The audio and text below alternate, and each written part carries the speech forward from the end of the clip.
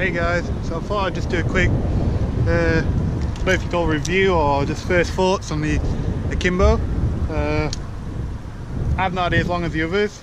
Um, I, I was the one that went and bought it and spent way too much money, but I've got it now and I think it was worth it. So I'm running it on a Cougar Blue, so 11.7 mil.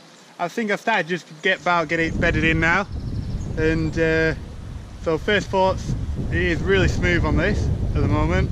Uh, from what everyone's been saying, it's just going to get smoother.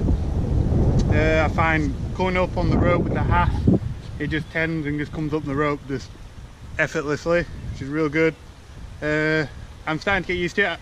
Only downsides that I think I've found so far is sometimes I think maybe the, the actual peak could just be extended a tiny bit just for a little bit more control that's probably personal preference I guess.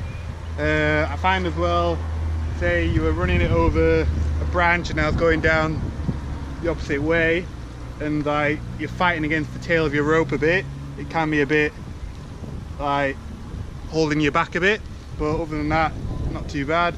Tending slack as you can see just real easy and I think it's just getting used to it more than anything. Once you're used to it I think it'll be absolutely brilliant like like I'm, I'm getting there now. Uh, so yeah. That's my first thoughts anyway. So, yeah I thought I'd do a couple of swings just for a bit of fun and show you that you can swing and then still go down and controlled uh, I don't know just me having fun more than anything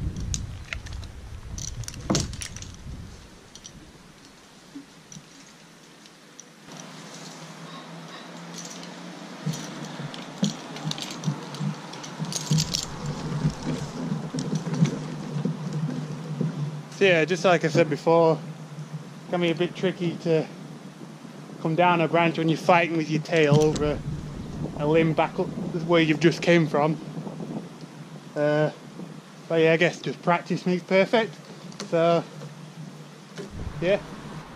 So uh, a couple of other things was uh, I found when I first got it, it was super stiff. Like all the everything was stiff.